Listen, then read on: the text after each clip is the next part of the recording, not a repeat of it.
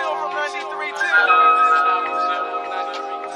how we chill from 93 2. This is how we chill from 93 This is how we chill from 93 2.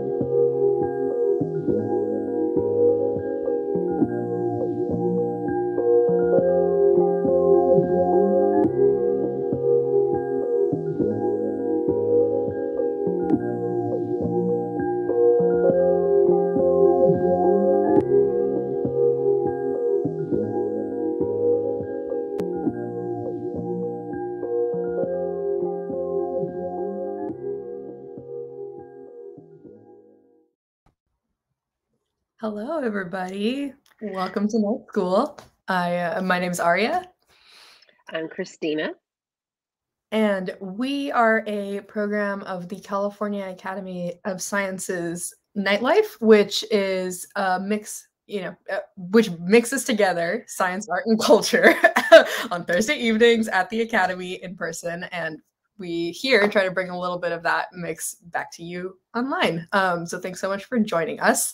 And tonight, uh, you've heard this phrase before, most likely, but I will say it again. Um, but a picture holds a thousand words, or a picture is worth a thousand words, even I messed it up. Um, but today, we are welcoming a couple of incredible nature photographers onto night school today. And uh, they're going to share about their work, telling stories about ecosystems and conservation and all of the humans interwoven within all of it. And I'm just going to go ahead and pass it over to Christina to intro our, our lineup for the night.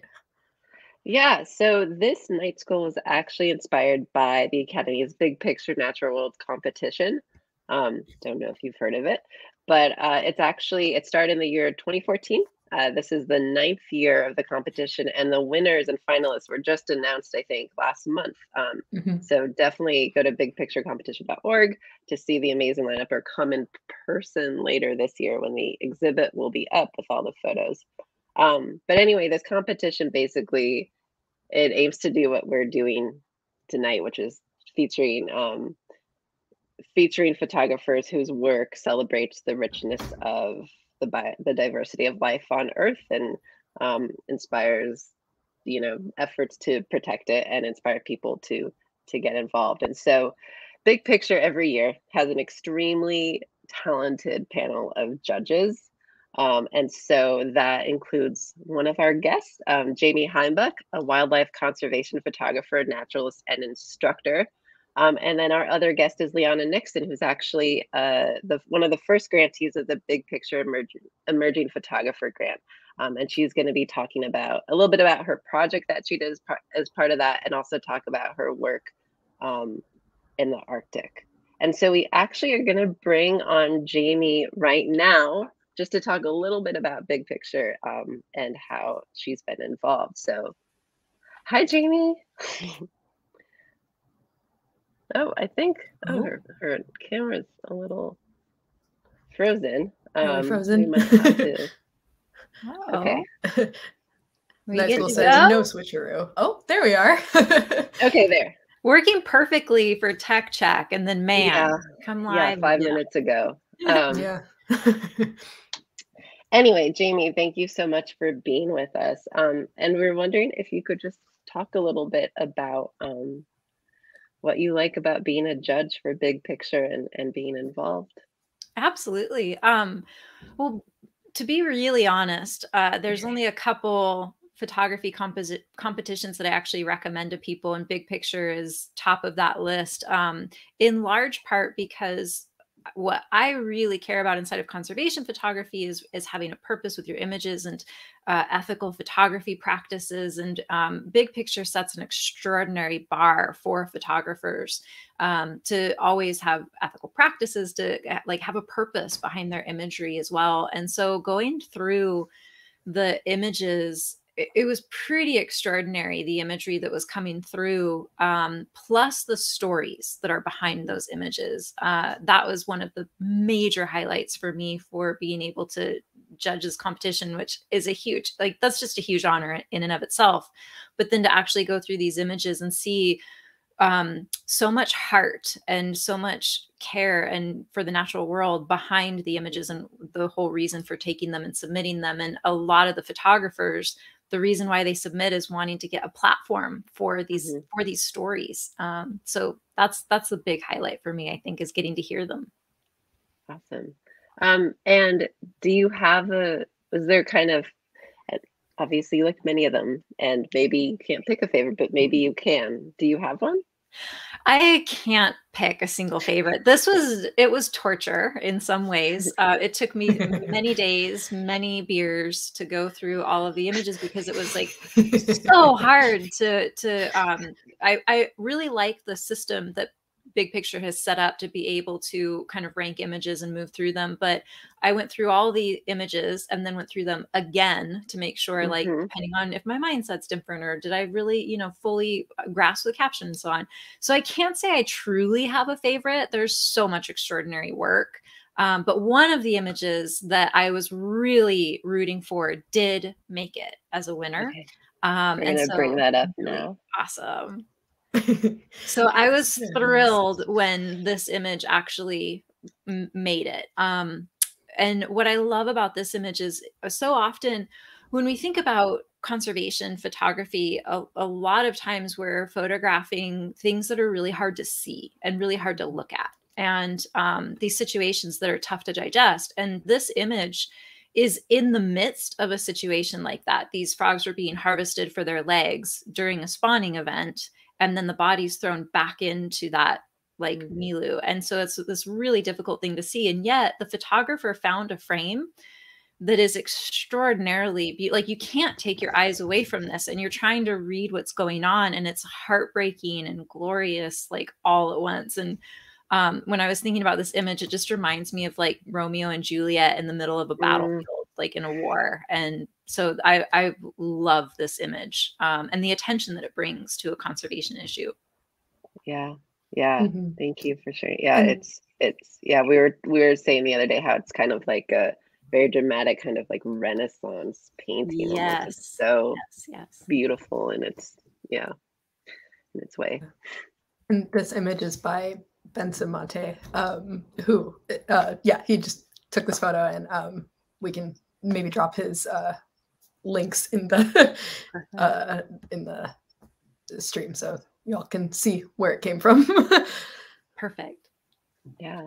Um, well, thank you so much for sharing, Jaymi. We're gonna um, let you give your amazing talk, and we just wanted to say, um, you all know the deal with the comments and questions, but we're gonna be doing a Q&A after both Jaymi and Lianna's presentations. So drop any questions you have in the chat, and we'll get to as many as we can afterwards. So, um, yeah. So, Jaymi, why don't you take it away?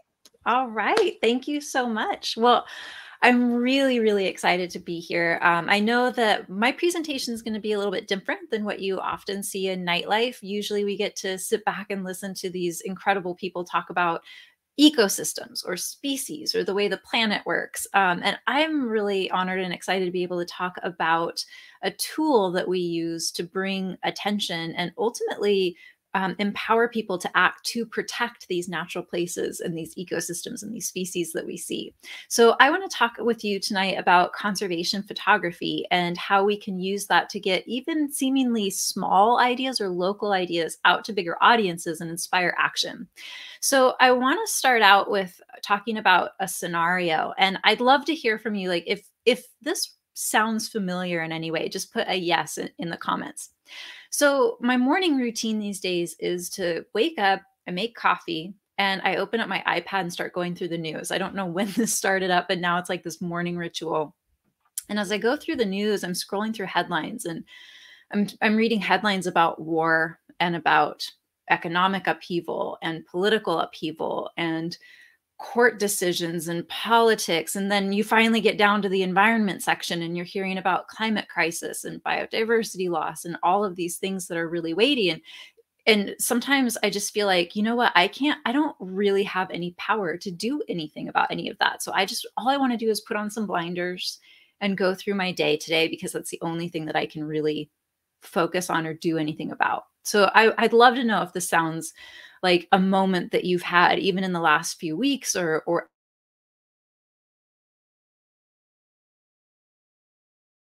about you know this kind of like moment that'll hit and it's familiar territory for them as well and i think that it's kind of a universal thing. I see andrea yes and tom yep yeah pat yes. So it can easily happen when we start to get really overwhelmed with the weight of the world. And especially when it's these big things that are happening on these large political levels or in other places in the country or the globe, it can feel like we don't have the power to do anything. It feels like we become disempowered. And it's harder and harder to see what we can do during the day in our daily lives to actually do something. So I feel really lucky in that daily I get to work inside the antidote to that. So when I start to have that feeling kind of come over me, it's like, well, time to go to work because I work inside of my academy, Conservation Visual Storytellers Academy, and I get to teach students of photography how to find, photograph, and ultimately pitch their stories for publication. And every day I get to work with people who are actively trying to tell these beautiful stories and get them out in front of people in order to provide people an avenue forward because this is what I know is absolutely true. This is kind of like at the the heart of those moments is even though we can feel like oh my god those everything is hard, I don't have the power to do anything of of note. Ultimately, people want to help. We all want to help. We want to do something. We want to find a, a way forward and to do the right thing and to to ha- to have some sort of um, action that we can take. And there's proof of this all over the place. In fact, I was scrolling through the news and saw this headline and was like, ah, I got to get a screenshot and share that in my talk. So I'm scrolling through and starting to get that feeling of like, I, if this stuff is just so out of my control. I don't have the power to do anything about this. And then I see this headline as federal climate fighting tools are taken away, cities and states step up. And this is happening because people, even though at like this federal level it feels like oh man we're in a situation that, that can be really difficult. At other levels at local levels people are saying no there's still there's still something to do. I want to be able to take action. Here's another example of this that hit my inbox a couple months ago. This was an email that came in from nature conservancy and they were doing this q&a event and sent out a, a survey to say hey when we have this expert, what do you want them to talk about? Well, over 3,000 supporters said that they want the featured guest to talk about how local communities can help in the climate and biodiversity crises.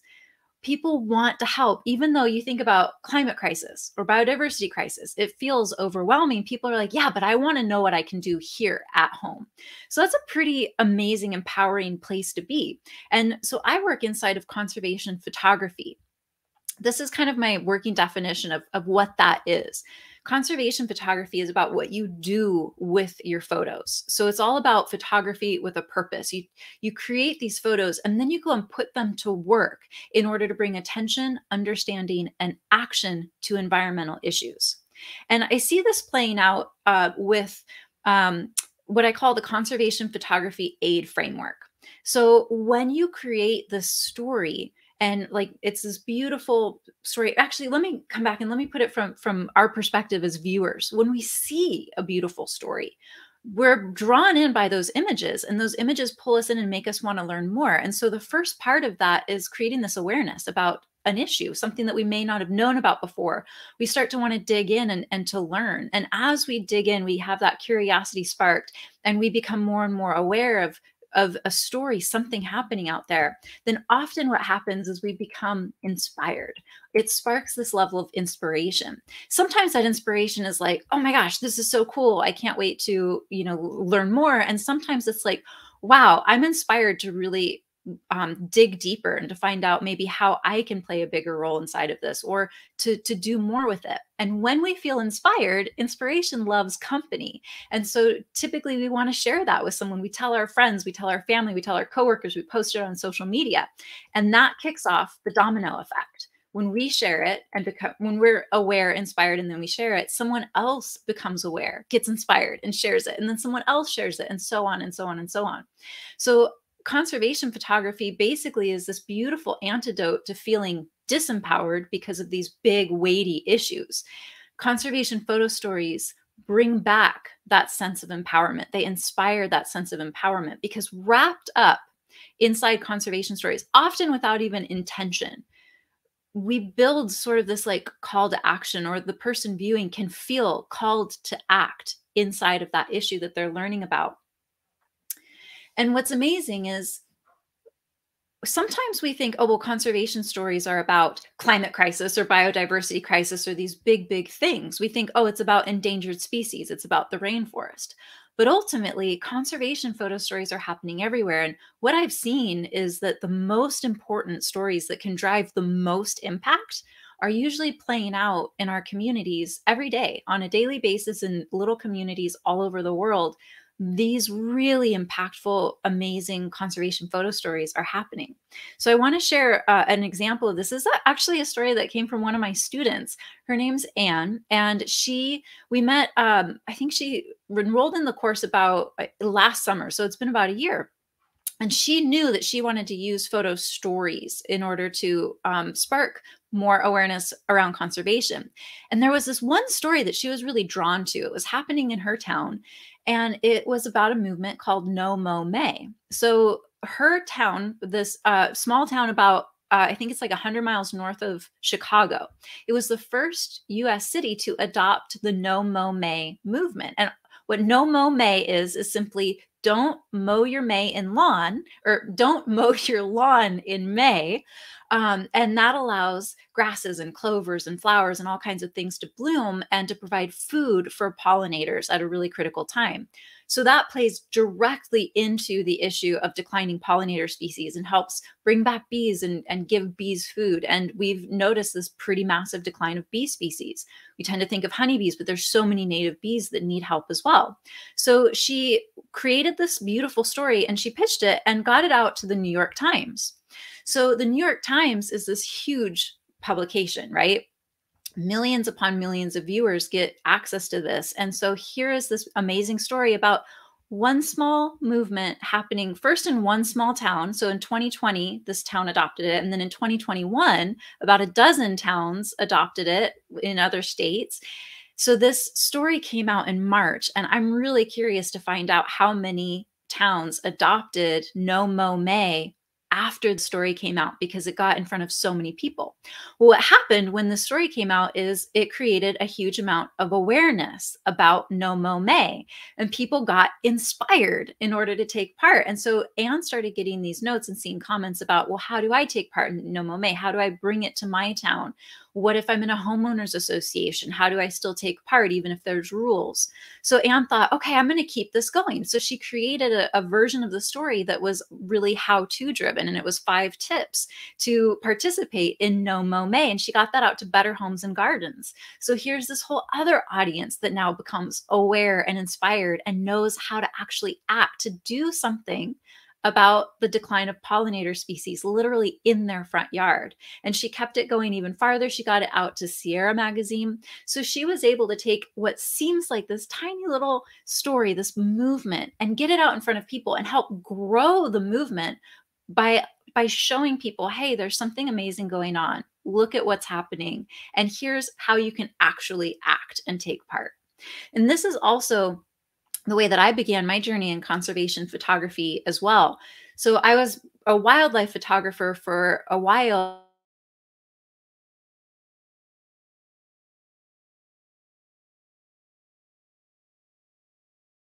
Okay, we're just gonna wait for Jaymi's in internet. San Francisco. There we. Okay. Did I cut out? It just it just cut it just start it just cut out for a second. So maybe start at the beginning of this photo Okay, slide. no worries. so I was saying this is this is where I really began my journey in conservation photography as well. So I used to live in San Francisco and I was walking my dog out at night. I was walking on Divisadero and I saw a dog running toward us down the middle of the street. And I was thinking, oh man, do I have a spare leash? How do I manage my dog? I want to make sure to catch this dog so I can get it to a shelter and make sure it's okay. And um, then I realized that's not a dog at all. that's a coyote trotting toward me down the street and all of a sudden it just kind of hit me like wow this amazing um, it's pretty amazing to think about this predator that is the same size as my dog this canid species is just like doing its thing happy as can be inside of such an urbanized area like san francisco. How does the species make a living where does it go? What's what's happening here? And what does it say about our relationship to the natural world even in such an urban place as san francisco or these really urban epicenters around the world? There is all this biodiversity thriving. So i created a project called urban conservation or sorry urban coyote initiative. And this project was really about creating photo stories about coyotes. And it started in San Francisco, but it really ballooned out to cover coyotes in cities all over the country. And the more that I photographed coyotes and created stories that got out to these different publications, the more I really realized that conservation is absolutely not just about endangered species or these threatened habitats. The most common species that we see all the time, this is part of conservation too, because these species, like the coyote, connect us back to nature no matter where we are. Common species and our connection to them are every bit as critical to conservation as any anything else that pops up in headlines in the news. So another project that I'm working on, I moved from that into a, a project called Watershed Sentinels, and I actually completely revamped this entire project last week. So it was a project that was going to look at, at species living inside of watersheds. And now I really want to experiment a lot more with stories that bring awareness and that sense of empowerment to people no matter where they are in order to connect with their watersheds. So they may um, find a great deal of interest in the stories I create about the watershed where I'm at on the central coast of Oregon. But how can that then empower them to get to know their watershed and to focus on watershed health where they live? So it's going to turn into quite the conservation visual storytelling experiment. I'm working right now on these guided virtual tours where I take people birding by ear or on a plant species identification walk, all on these virtual tours and um, doing uh, some immersive storytelling all in order to move forward with the idea that when people become aware of something they get inspired and it it brings back that sense of empowerment that we can so often lose when it comes to conservation efforts and what we can do in our daily lives. So my my giant kind of takeaway is if this is something that really interests you especially if you enjoy photographing um, if you're someone who loves to pick up your camera and take images your favorite subjects can have an impact inside of conservation work. So when you create these photo stories about whatever it may be your favorite places your favorite species whatever that may be that can have a strong impact because through the stories that you create you can help show someone something amazing. You can invite them to actually have a path forward to contribute to protect the nature that they care about as well. Ultimately, through photo stories that connect, we empower people to act. And that is I think the superpower of conservation photography overall is that we take the idea that, hey, there are some big, weighty, hefty things happening, and we can talk about that. And now we can talk about a path forward out of it. So, for any of the photographers that are in the audience, I wanted to throw this this quiz out there for you. I created a visual storyteller personality quiz. And in the years that I've worked with conservation photographers, I noticed that there's kind of four main buckets that our personalities fall into when it comes to visual storytelling. So if you want to find out what your personality is and what your strengths are, this quiz is like two or three minutes. And I also include a path to impact uh, map maker that helps you kind of put those strengths to action. So if you want to take action with your photography, this is a great resource for you. So thank you so much. I really appreciate uh, all of your kind of uh, conversation in here and for being willing to hang out and nerd out about photography for a while. Hi, Jaymi. Hey. That was lovely. Thanks so much for sharing your work with us, for sharing, um, you know, the importance of telling stories close to home. Um, because like th- that's so like I don't know, it really, it really, you know, hits me in the heart, and like it, it's just so lovely how you summed it all up. But um, first question: How do we go on a virtual tour with you? This sounds intriguing. well, I'm still kind of figuring it out. So uh, right now, I'm I'm at the very beginning of really learning about uh, not only the filmmaking side of it and all of the the technical stuff, but then also how to present it.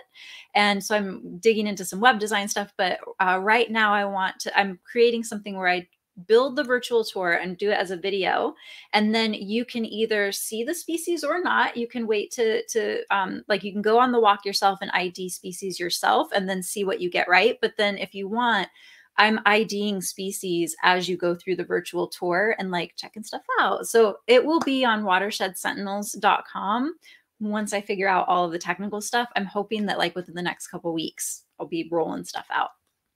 Yeah super super cool. So everybody keep your eyes out. Um, but specifically another question on watersheds. What was it that specifically interested you in in those ecosystems? Oh well that thank you so much for whoever asked that question. Um one of the big things that sparked it for me is moving into to Oregon. So I'm originally from the central coast of California, and then I moved to the central coast of Oregon.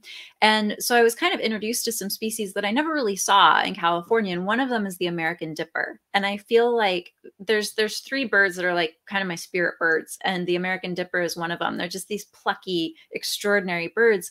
And realizing, wow, I'm I'm super engaged in what's going on with this bird in its life, but it's also dependent on healthy water and um, having the right habitat and making sure that um, because it feeds on invertebrates inside of these certain types of streams and so on. And so when I started to get into that, I started to learn more about watersheds and watershed health and all these other species that are dependent on these um, really healthy watersheds. And then the main thing was, wow, that's incredible to figure out. The nature nerd side of me loves that, but also this is where our water comes from. And not a lot of us really stop to think often about where our water really comes from. Like, what are literally the streams and the creeks and the rivers that feed into the reservoirs and so on?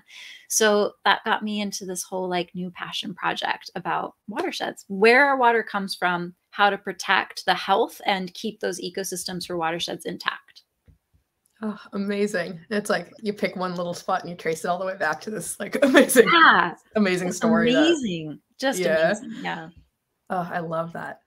Um, and it, just kind of general question about your journey as a conservation photographer. What tell us more about what it was like to get into this field and like it, you know, particular successes, triumphs, challenges, like the whole the whole works. yeah, I um so I started back in uh, probably about 2010 and I was taking tons of wildlife photos and because when you pick up a camera and start to really nerd out with it of course you're taking photos like right and left and so i started posting to social a lot and back then it was flickr um, and then it evolved into you know instagram and other things and um, but piling up images just never really did it for me. And especially when I love these species so much that I'm photographing and I'm really interested in them, I really wanted to use my photos for more. And so when I learned about conservation photography, it was like, oh, light bulb, this is it. This is this is what I am supposed to be doing. And so I started to create stories um, and getting them published in publications, and then uh, kind of rolled forward from there. And then in about 2017, I went full time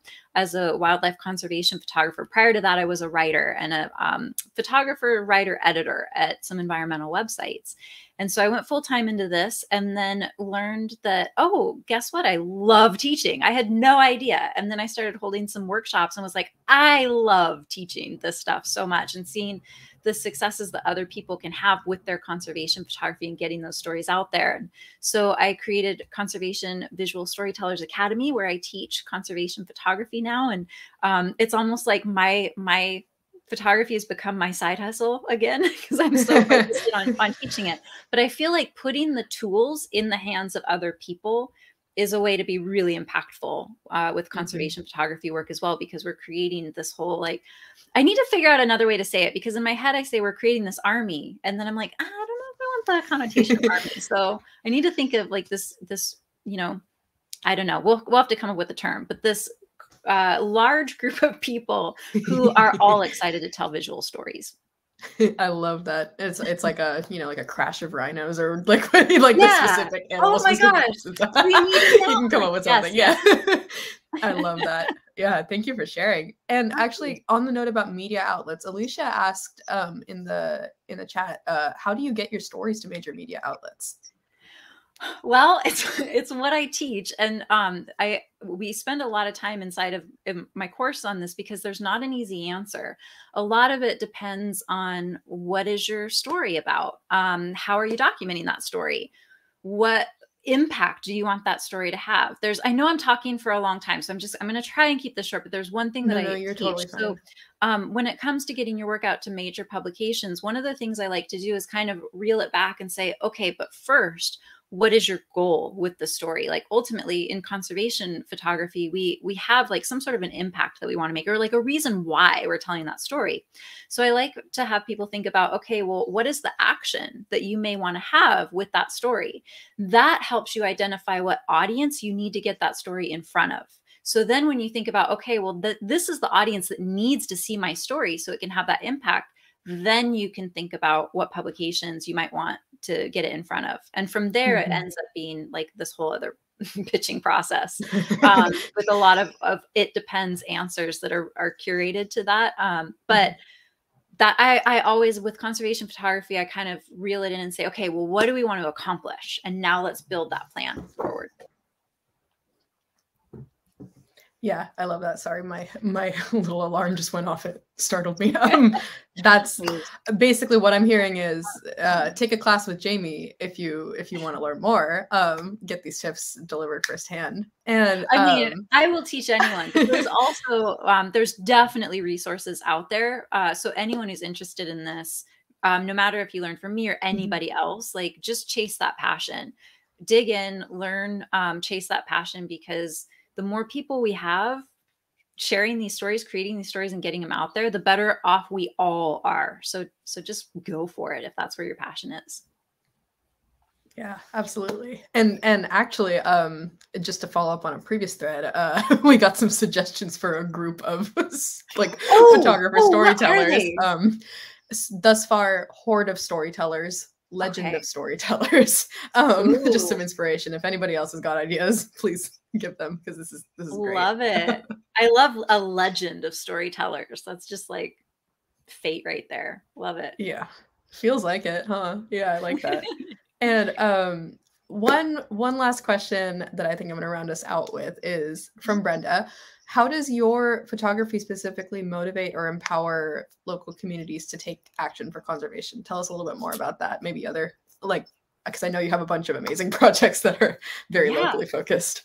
Well, so um, Watershed Sentinels is in its infancy, so I can't say a whole lot there. I'm going to find that out as I experiment and figure out what resonates. One of the things I plan on doing is creating um, surveys, like fun surveys at the end of articles or tours or whatever it is, to find out more about like what impact did it have, and, and to essentially try and measure um, impact and to be able to use the feedback to craft things. But anyway, with the Coyote project, one of the things that was really powerful was I built a website uh, for um, the project itself, but also where I would write a lot of articles. And one of the articles that I wrote that you know was huge every year we'd see these major spikes in traffic every pupping season was um, what to do when you see a coyote and you're out walking your dog and it was literally um, here's here's steps to take. And so that mm-hmm. article um, using the stories inside of educational articles was a really big part of it. So the the images would bring people in because they were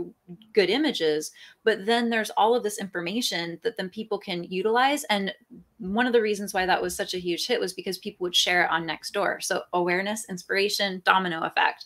So Nextdoor or printing out articles and then um, putting up flyers so those when i feel like there's a huge amount of of untapped power among conservation photographers because we want to get our work inside of media outlets because that's a huge way to leverage your story and get it out in front of larger audiences but you also have an extraordinary amount of power by creating a website and using SEO practices um, to be able to get your work out there in other ways and often in surprising ways. And that can really connect you also to local community because when you're out in the community, maybe you do a gallery exhibit or maybe um, you're at an event, you have a website to direct people to where they can then share and take action. And so it can be a local uh, impact, but then have a bigger spread. I rambled on that mm-hmm. one quite a bit. I hope that was a helpful answer.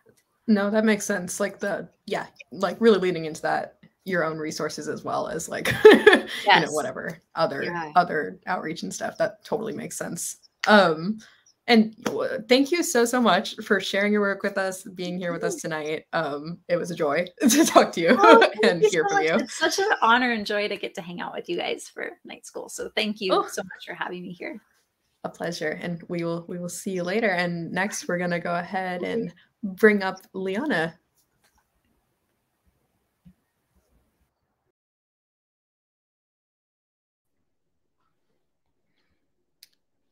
Oh my gosh. Hi, everybody.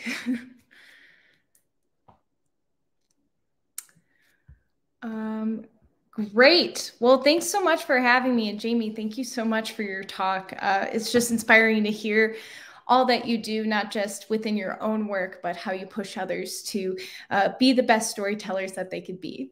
Um, as Arya said, my name is Lianna Nixon, and I'm a conservation storyteller and educator. I specialize in climate ecosystems that are located in the Arctic, Alaska, and North America's interior, especially Wyoming. I also work for the Cooperative Institute for Research in Environmental Sciences called CIRES at the University of Colorado Boulder. And that's where I help uh, climate researchers and scientists communicate their stories and their science and their research work to the public, as well as uh, education curriculum. Um, so I'm going to just talk about my origins because uh, they did start locally. Uh, I had family that lived in Jackson Hole, Wyoming, and my grandparents owned a film development store. And so being around cameras and um, having this love for nature was just really part of my family upbringing. And I fell in love with growing up a moose. And this moose in particular was one that I actually had uh, had to photograph for uh, three years um, and even see her with a couple of calves. And this is, um, she actually lived right where my grandmother boarded her horse and uh, would sometimes actually walk into the barn with you if you weren't careful of with closing the door. Um, but uh, with Jackson Hole, Wyoming, as there's increased traffic and tourism that happens, and I do warn you for the next image, uh, the number one thing that kills moose is uh, wildlife collisions with cars.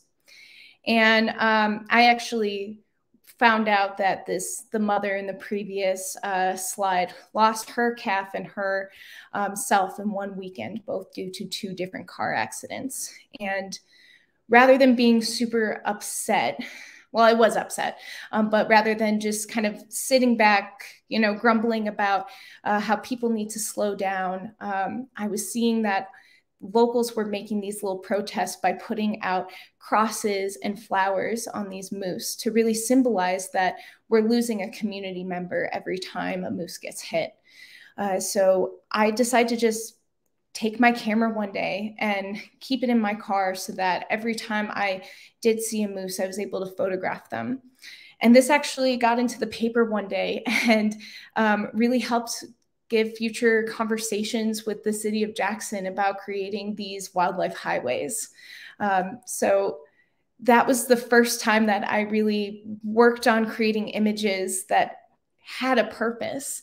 And that just got me hooked into conservation photography, photography that is not only about the beauty and plight of nature, but how we can actually take action and utilize them for good and change. And so this took me to some really cool places, like working at South Africa's first rhino orphanage uh, to really explore the plight against rhinos um, and poaching uh, for their horn. It's illegal to poach rhinos for their horn, and the horn is believed to have medicinal purposes. However, that's not true. And there were a few orphaned rhinos that I got to follow for a few months, uh, really learning about. Um, this crisis and how they lose their mothers. I've also been able to photograph empowering stories when ecotourism invests into a community and the community is completely uplifted, like the Diana Fossey Institute in Rwanda, um, as um, so much of the tourism is committed to supporting all the locals, making sure they're all employed. And in return, that decreased poaching of gorillas and illegal game snaring because people had enough money to support their families and put food on the table. I also, for the past eight years, have been going to Alaska uh, to fight against the Pebble Mine campaign, which is a golden mine gold and copper mine campaign that threatens uh, Alaska's big is stronghold of sockeye salmon and the last sockeye salmon fishery that we have, as well as the densest brown bear population on our planet.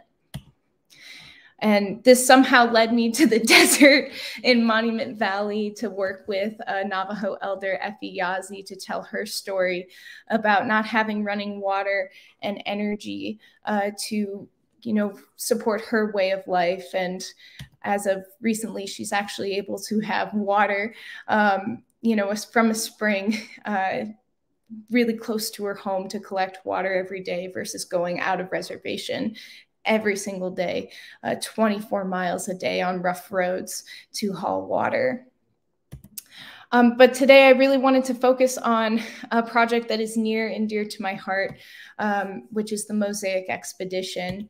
Uh, for the past three years, I've been working with Mosaic, which stands for the Multidisciplinary Drifting Observatory for the Study of Arctic Climate. This was a research campaign from September of 2019 to October of 2020. And uh, international team of scientists from over 22 countries were highly motivated by the Arctic's rapidly changing environment. It is the most rapidly changing region on our planet as sea ice has been diminishing and atmospheric temperatures have been increasing. And so they took that ship, the Polarstern, and froze it into the sea ice um, or next to an ice floe from Siberian Russia, which is where that red line starts, all the way to the coast of Greenland. And there they observed the Arctic climate system and how it couples with chemical, biological, and physical processes that occur in the Arctic's atmosphere, sea ice, ocean, and ecosystem.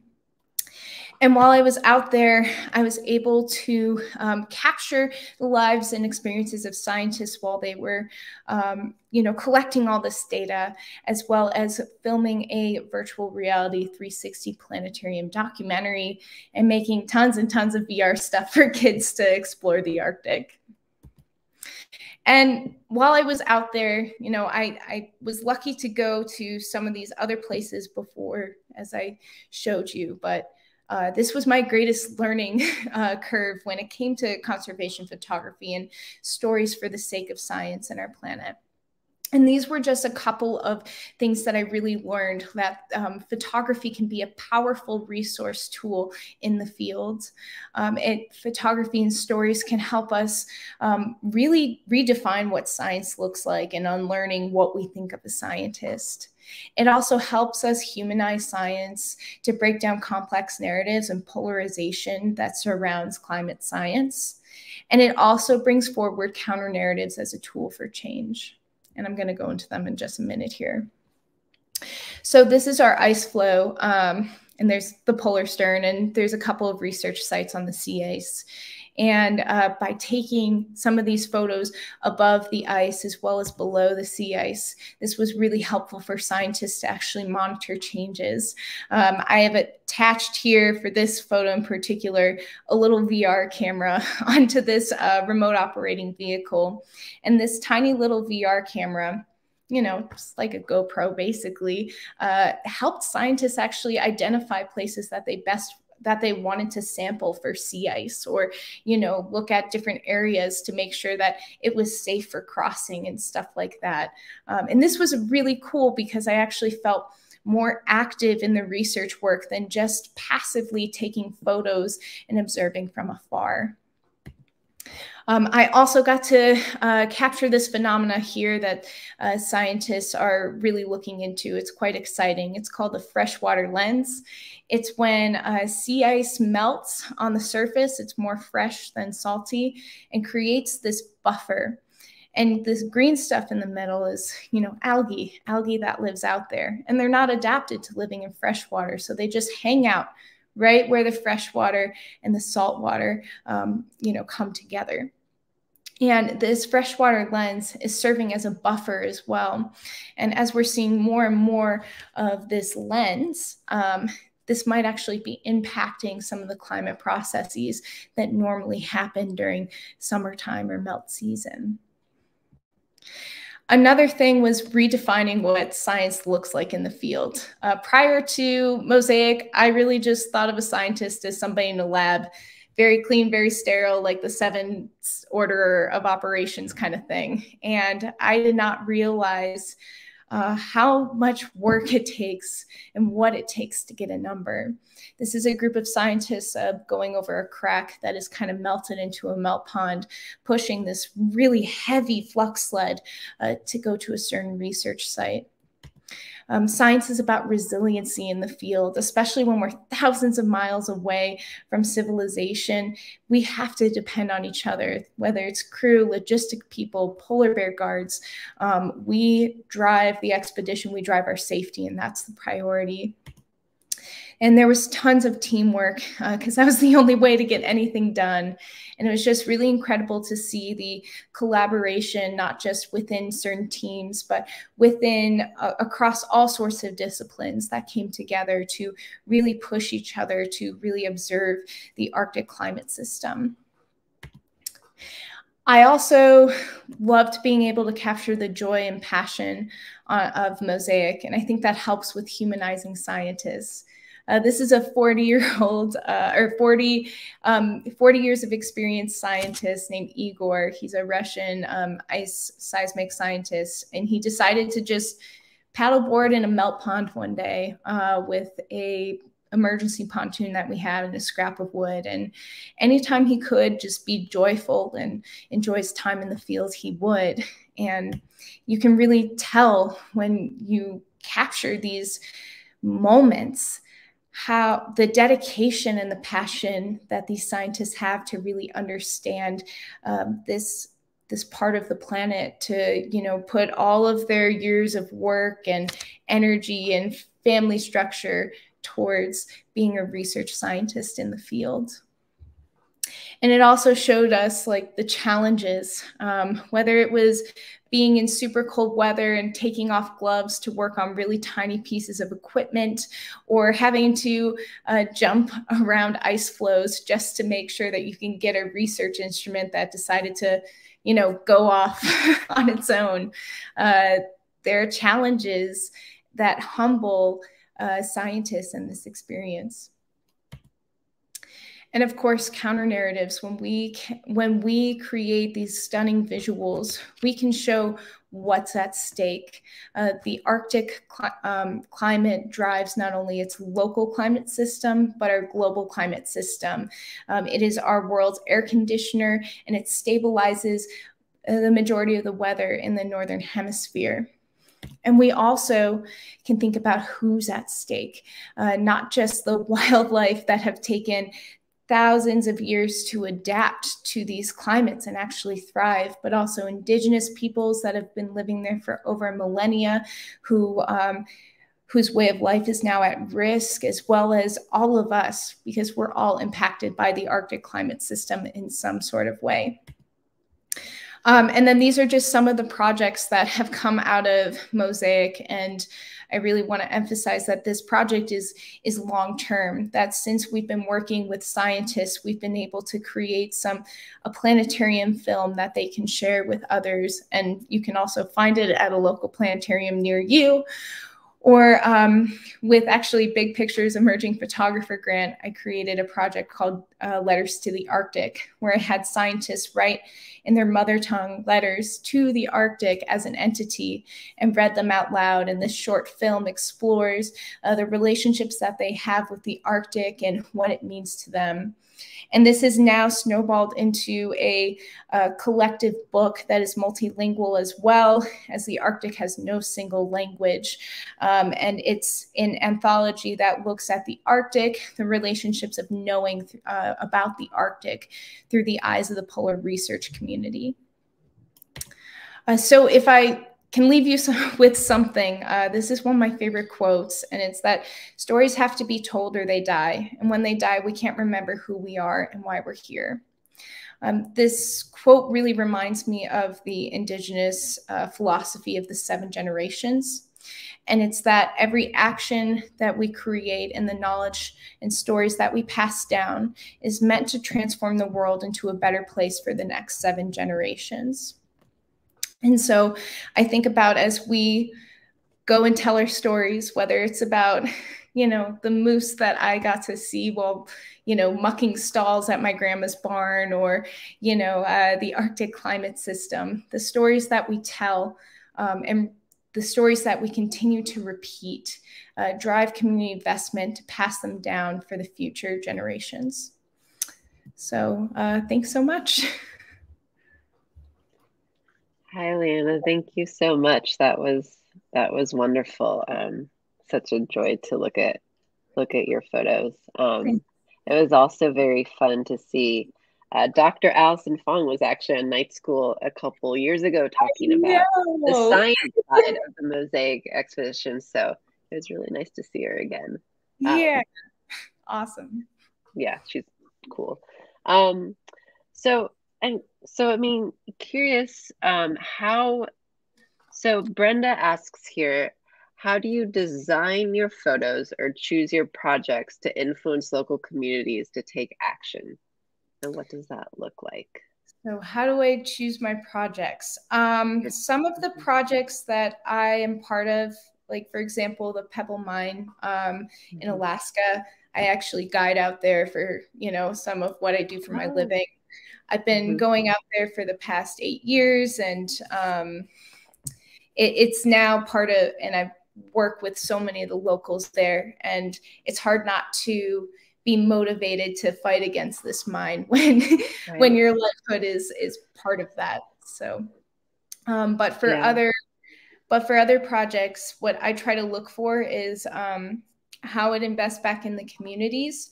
Um, you know, if I'm asked to go somewhere that I'm not a local mm-hmm. of, then, you know, that's really important. Um, and I do my research, of course, beforehand if I'm going somewhere. But I, I like to go to places that um, I have a knowledge or mindset of, that I have some sort of uh, background in, because I, I don't want to go into some place and, you know, be just there. so, yeah. Yeah. Um, sort of related to i think it's funny when you were giving kind of like a quick overview of like some of the projects you did before mosaic you say mm-hmm. like and this led me to this led me to this. Um, so how do these projects like how do you get led to something? Like do you hear about a story and then pursue it? Um, do, oh and deanna just asked in the chat do communities come to you for assistance in a telling a specific story? Like how how does that path look? Yeah how has your path looked yeah. So for some of the stuff with the um like for work that I've done in Africa, um, what in numerous places. Uh, it started mm-hmm. in South Africa, and that was just an in, an internship when I was 19 that I worked really. I, I just applied and and didn't really think I was going to get it, and suddenly got it. And um, you know, working with them after a few years after that, just doing what I could. Um, you know, po- posting on social media, uh, connecting with Mhm. other organizations who have similar interests. Uh, that's kind of what led me to some of the other um, the other opportunities. Um, Mhm. yeah, also working in ecotourism, you meet a lot of different photographers and people in conservation organizations, and uh, the community all of a sudden gets really tightly knit and Mhm. kind of almost messy, but in a good way, uh, Yeah. where can kind of help support each other uh, just Mhm. for the sake of helping. So, Yeah. Yeah. A group of very passionate people. Yeah. Mhm. Um, and then, so, okay. So, um, question. So basically in Antarctica, photos below the ice, video, like what, what were some of the problems you encountered when you first um, joined the expedition and what did you have to figure out oh my to, gosh, to shoot in that sort of climate? what wasn't a problem? Um, it's cold. Uh, so cameras are very finicky and don't like the cold. They also don't like the wet, and that's the Yeah. Arctic, especially during melt season. So, um, Mm, you know, I would have uh, cameras like ready to go, um, and if I put a camera underwater, uh, that's it. You can't open up your camera until it's fully done. So if the battery dies, you either have another camera that's ready to kind of continue in its place, or you just it dies and you accept it. Yeah. I may have lost a couple of cameras to the Arctic um, because it happens. You know, rigs fall apart. Um, Yeah. You pull up something, and all of a sudden there's a piece of ice, and you know it wasn't there before. Uh, ice is Well, you mentioned like giant scientific rigs and tools like gone missing, so it seems pretty easy to lose it camera. yeah, absolutely. And it's wild because scientists, like, as a photographer, I'm like mortified, but for scientists, they're like, ah, it's just equipment. And, you know, it's such a different perspective. It's really interesting. Yeah. yes, Um, it is. yeah. And then um, Alicia asks for those of us who don't have degrees in photography or film, but maybe other forms of storytelling, how would you recommend gaining technical skill? So that's great because I actually don't have a degree or anything like that in photography or film. Um, my undergrad was in archaeology, uh, in classical archaeology, and it was about piecing together evidence to create a story about civilizations way back in the day. And then I do have my Mhm. master's degree in education, but um, I gained my tech. I was very lucky because my dad is a photographer. And so when I was 16, he gave me a little booklet and I wrote just notes. He would lecture me on, you know, aperture value, time value. And, um, you know, I, I just became determined to um, understand this craft. So sitting at my Yeah. computer, watching tutorials, going out there, failing.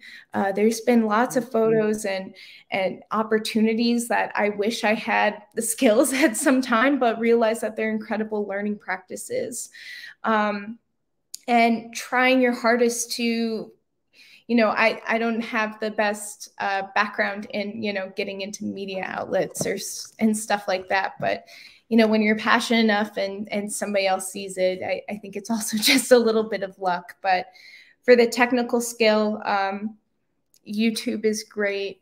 Uh, going out there and going through those trials and um, you know any sort of manuals or even just what other photographers go do out there. Sometimes uh, you know people like Jaymi who are who have these classes they're all really really incredible resources Yeah, and I love that both you and Jaymi emphasized that um, early that like you just focused on like your local. Like there's so much locally around your neighborhood to take pictures of and to observe and you know like important stories too. So that seems also like a very good place to start practicing. Just notice those things, look for look for those things. Um and then so it's interesting because you're both a filmmaker and a photographer. So Mhm. When how do you decide when photos are more powerful or when video is telling the story better?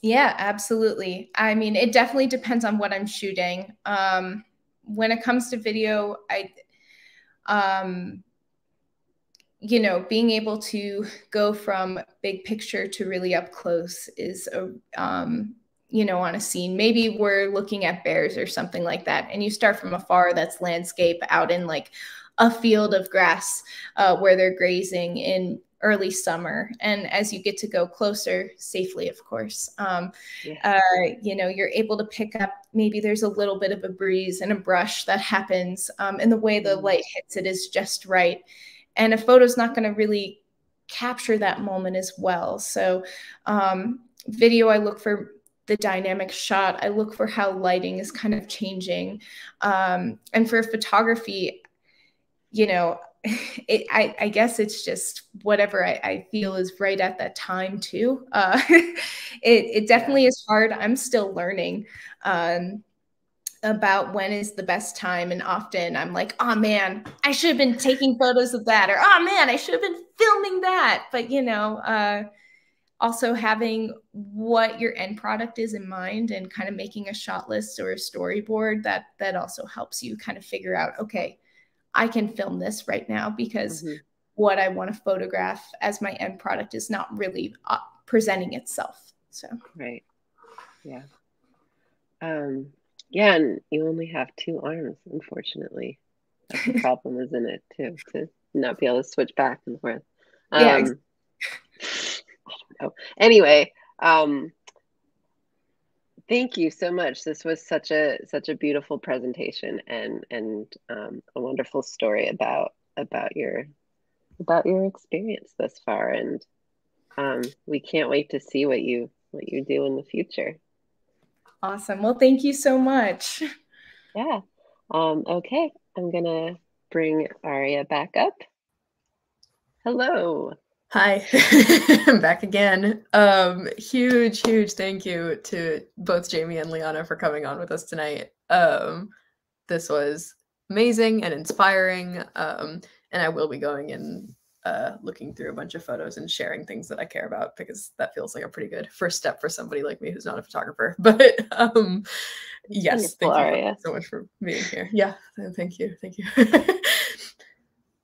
Um, yeah, I hope I hope at least some of you in the chat here are also inspired to get out and just and look and and pay Yes. attention and somehow get involved in in in local projects that um that you might have read about in your local paper.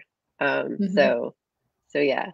And um, we for uh, upcoming night schools, we're actually taking a little summer break. So there will be no July 21st night school, but we will be back on the first uh, Thursday of August. And we have one we're really excited about. We, we're calling it a field guide to field guides. So if you have ever wondered how somebody puts together um, one of those beautiful little books, uh, we're going to tell you about it or have guests on that will tell you about it. So, yeah. um, so yeah, thanks again for uh, being with us tonight. Um, and we'll see you in August. Yes, indeed. Subscribe so you'll be notified when we do come back. Um, and all of these recordings stay on our channels uh, uh, after the fact. So if you want to tell somebody else about the power of conservation photography, share it with a photographer you know, aspiring photographer, just anybody. Um, the recordings are right here at the same links that you're watching. So yeah, thank you all for joining us tonight. Have a good night. Take care. Good night, everyone.